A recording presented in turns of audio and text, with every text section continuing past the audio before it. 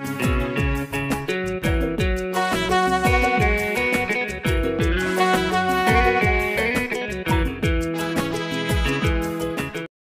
Xildhibaano ka tirsan labada aqal ee baarlamaanka soomaaliya aqalka sare iyo golaha shacabka deegaan ahaanna ka soo jeeda somalilan ayaa dowladda soomaaliya ku eedeeyey inaysan doonin dalka ay ka dhacdo doorasho.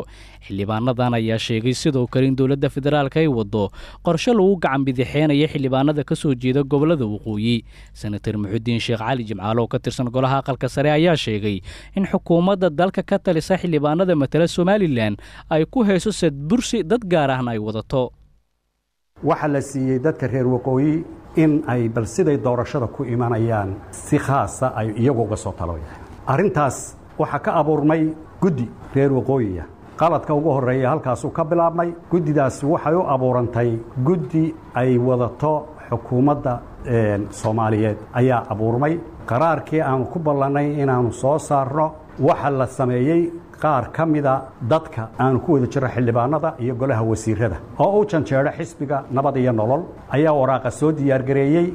Waraaqahay soo diyaargareeyeen mid laga wada tashaday ma ahayn. Koobi baanu idin siin doonaa oo arki doontaa. Waraaqdaas waxay u qoran tahay digreto madaxweynaha iyo ciddii la halmaashay ee noocaasa ayuunbaa odhan kartaa markaan eegay markaan u fiirsaday markaan arkay markaan la tashaday ayaa ku qoran. Xataa gruubka la leeyahy way ka soo shaqeeyeen waxay ka soo shaqeeyeen maaha. Waayo waxay odhan lahayd af soomaaligu waxaanu ka soo shaqaynay waxaanu soo garannay waxaanu soo qabannay. Waxaa la doonayaa in la diyaargareeyo doorasho dalka oo dhan inaanay ka dhicin ama gobollada ama meel kasta. Annagu annagu doorashadayadii hore ku qabsannay halkan. Waxaa noo diiday dad fara badan oo halkan deganna u diidi doona. Tabta loo diyaargareeyey in loo afduubo doorashada dhinaca kale xildhibaan xuseen carab ciise oo ka mid ah golaha shacabka ayaa taageeray hadalka senatarka runtii hadalka waxaa dhameeyey senator muxidiin oo ah guddoomiyaha arrimaha gudaha federaaleynta dibaheshiisiinta kana mas'uul xidhiirka dowladda dhexe iyo maamulada inaan sakand gareeyo maadaama aanu nahay labadii aqal.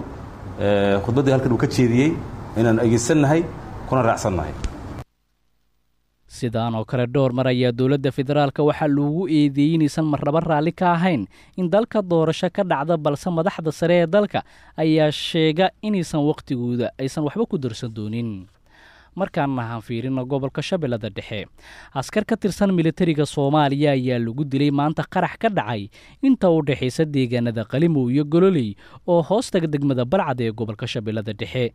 Bashiir cali daahir ayaa warkan jowhar inooga soo diray qaraxan la beegsaday kolonyo ka tirsan ciidamada xoogga dalka soomaaliya. Inta u dhexaysa deegaanka gololey iyo qalimow oo ka tirsan gobolkan shabeellaha dhexe ayaa waxaa lagu soo waramayaa inay ka dhashay khasaaro dhimasho iyo dhaawac. Qaraxan ayaa waxa uu ahaa miinada nuuca dhulka hoostiisa lagu aaso waxaana ka dhashay khasaaro dhimasho iyo dhaawac. Ku dhowaad shan askari oo ka tirsan ciidamada dowladda ayaa lagu soo waramayaa inay ku geeriyoodeen. Tiro intaasi ka badanna ay ku dhaawacmeen. Dad goobjoogayaal oo ku sugan deegaanka oo xiriir aan la sameeyey ayaa ii sheegay in ciidamadan ay ahaayeen kuwa ka soo amabaxay degmada balcad kuna soo jeeda deegaanka qalimow. Ma jirto wax war oo ka soo baxay saraakiisha ciidamada xoogga dalka soomaaliya oo ku aadan weerarkaasi lala beegsaday kolonyo ka tirsan ciidamada dowladda oo maraya waddada laamiga ee isku xirta degmada jowhar iyo balcad. Mana aan markii ugu weerar caynkan oo kale ah oo lala beegsado ciidamo ka tirsan kuwa xoogga dalka soomaaliya ee ku safra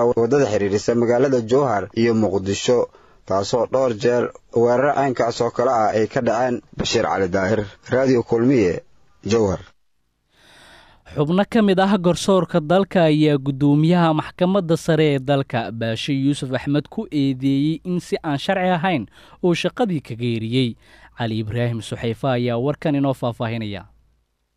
Kadib markii warar soo baxay ay sheegayeen in saddex iyo labaatan garsoore oo ka tirsan maxkamadda sare ee soomaaliya shaqada laga eriyey ee arrintan waxaa maanta ka hadlay.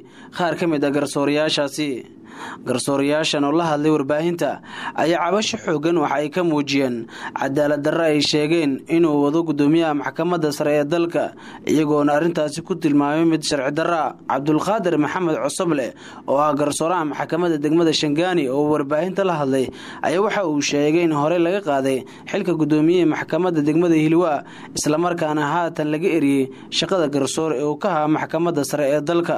Waxuuna baaqu u diray madaxda dowladda federaalk ee soomaaliya?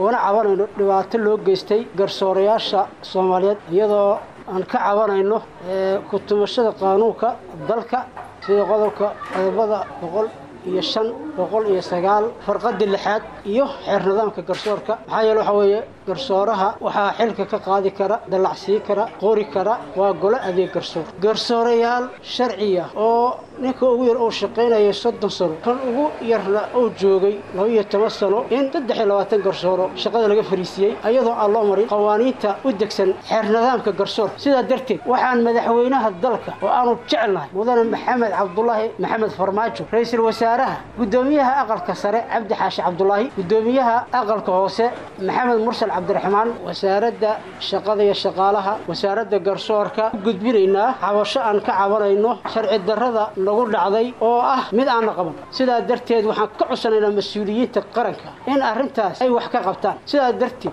waa in loo soo diro guddi baaro. Arrintan cadaalad darrada ka dhacday maxkamadaha oo runtii la dhihi karo waxaa weeye waa lagu tuntay dastuurka kumeelgaarka iyo xeer nidaamkii garsoorka labadaba.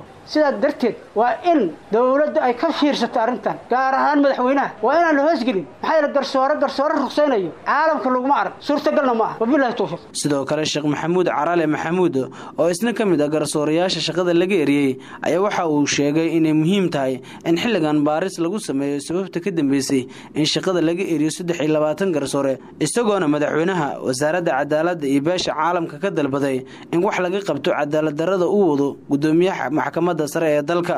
Dhibaatada nagu kalifta shirkan inaan qabano waxa waaye cadaalad darro ka jirta garsoorka saddex iyo labaatan garsoor oo inteenna hadda aan ka fadhino arrintaas ayaan cabashanahay inan waxaan aaminsannahay inaan loo soo marin sifo sharciga waana la ruqsay karaa qalad waa geli karnaa binu aadanaan nahay laakiin sifa sharciya sharciga dalka u dhigan nololma soo wara saarin sidaa darteeda maxaa qabaan garsoore garsoore ma dalacsii karin ma qori karin ma bedeli karin ma anshax mari karin.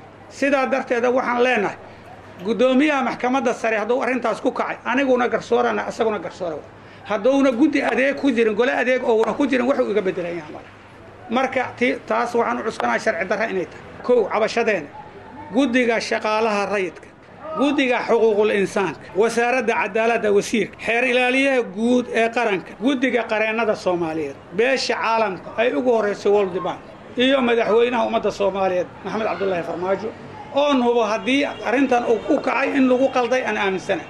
Marka madaxweynuhu waxaan kaa codsanaynaa sharci ilaaliyihii guud ee sharcigaa tahay garsoore ugu sarreeya sharcigaa tahay cadaaladda adaa ugu sarreeya taliyii ugu sarreeyo cida waxyaabahaas la gaartay ka mid tahay. Mudane garsoore waa lagu dhihi karaa gole adeeg hadou jirona adiga waa shir guddoomin kartaa cadaaladda ilaalihii cadaaladda ansaastii qarankana adaa ah.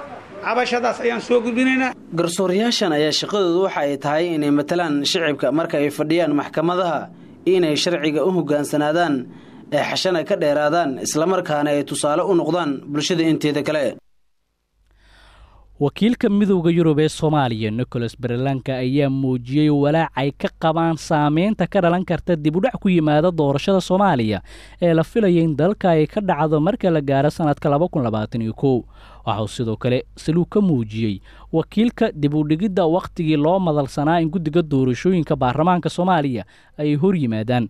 Hadalka ka soo baxay wakiilka midowda yurub ee soomaaliya ayaa imaanaya iyadoo shalay guddoonka labada gole ee baarlamaanka soomaaliya ay wakhti kordhin u sameeyeen guddiga doorashooyinka wakhti ay ku hor lahaayeen baarlamaanka iyadoo loo madalsan yahay in toddobiyo labaatanka bisha soo socotay juun guddiga doorashooyinka ay hortagaan labada gole ee baarlamaanka soomaaliya wasaaradda caafimaadka soomaaliya ayaa sheegtay in afar iyo labaatankii saacii la soo dhaafay. Dalka laga helay labaatan iyo laba kiis oo ah dad ay soo riteen xanuunka dilaagahi covid nneteen xanad maxamed karaama ayaa warkan inoo faahfaahinaya. Wasaaradda caafimaadka soomaaliya ayaa maanta shaacisay kiisas la xiriira xanuunka koronavirus dadka maanta laga helay xanuunkan ayaa gaaraya labaatan iyo laba qof halka xanuunkan ay ka bogsadeen siddeed iyo toban ruux. Sidoo kale xanuunkan waxaa u dhintay afar labaatankii saaci la soo dhaafay hal qof deegaanada ay kala joogaan. Dadka xanuunka laga helay ayaa kale somalilan afar toban qof gobolka banaadir shan qof halka maamulada koonfur galbeed iyo sidoo kale jubbaland iyo hirshabelle iyagana laga helay min hal qof. Maalinba maalinta ka sii dambeysa waxaa sii kordhaya dadka uu soo ridinayo xanuunkan oo jooga gobollada dalka halka ay sii yaraanayso dadka xanuunkan uu ku soo ridinayo magaalada muqdisho. Tirada dadka laga helay caabuqa coronavirus ee guud ahaan soomaaliya ayaa haatan gaartay kun toddoba boqol iyo koo iyo toban halka dhimashada ay marayso lixdan iyo toddoba ruux xilli maanta dagaal xoogan oo ka dhacay duleedka degmada dayniil una dhexeeyey ciidamo ka wada tirsan dowladda soomaaliya ayaa waxaa arrintaa ka hadlaya maamulka degmada dayniile gaar ahaan guddoomiyaha degmadaasi. Farxaan maxamed xuseen degmada dayniil ee gobolka banaadir waxaa maanta ka dhacay dagaal u dhexeeya ciidamo ka wada tirsan dowladda soomaaliya. Dagaalka ayaa waxaa ka dhashay khasaaro iskugu jira dhimashiyo dhaawac oo soo kala gaaray labada dhinac ee halkaasi ku dagaalantay. Gudoomiyaha degmada dayniil ee gobolka banaadir maxamed abuukar jacfar oo warbaahinta kula hadlay degmada dayniile ayaa ka warbixiyey waxyaabaha keenay dagaalka iyo khasaaraha ka dhashay intaba.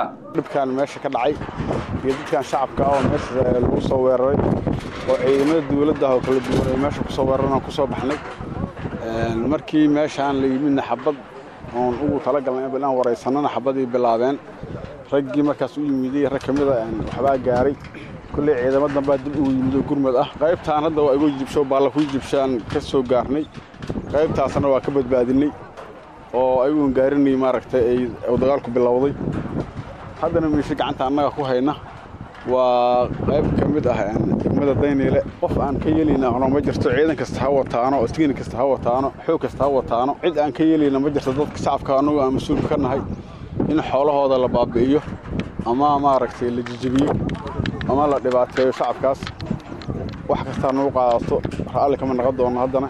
Wallaahi ciidamo hadda kale oo meel kale ka yimid ciidamada dawladda ay ahaayeen. Qaybo ka mid ah kulley cid kasta dembigeeda iyo qaladka ay samaysana waxaa ka hadli doona ama maaragtay arrinkaas ay gaar u tahay dawladda waxaa magaalada muqdisho ku soo lalaabtay dagaalada u dhexeeya ciidamada ka wada tirsan dowladda soomaaliya iyadoona dagaaladaasi ay ka dhashaan khasaaro iskugu jira dhimashiyo dhaawac. Halkaad nagala socotaan waa idaacadda kulmiye markaana warkii dibadda dowladda afganistaan ayaa boqolaal maxaabiis ah maanta ka sii diisay xabsiyada dalkaasi. Maxaabiis ka mid ah ururka daalibaan ayaa laga sii daayay xabsiyo ku yaalla waddanka afganistaan oo ay gacanta ku hayso dowladda dalkaasi. In ka badan sagaal boqol ah dagaalyahano ka mid ah daalibaan ayaa mar kale helaya xorriyaddooda kuwaasoo lagu soo qabtay weerarada u dhexeeya xoogaga xukuumadda afganistaan iyo ururka daalibaan jafeed faysal oo ah afhayeenka golaha amniga qaranka dalka afganistaan ayaana ku dhawaaqay sii diinta maxaabiistan. Hadal dhowaan ka soo yeeray dagaalyahanada daalibaan oo ahaa in maalmaha ciidda aanan qaadi doonin wax weerar ah. Hadalka ayuuna sabab u noqday siideynta maxaabiistan. Dowladda afganistaan ayaa waxay isku dayeysaa in ay sii yarayso dagaalada qaraar ee kaga imaanaya dagaalyahanada ururka daalibaan waxaana hadda muuqanaya xoogaa isfaham ah oo u dhexeeya dowladda iyo daalibaan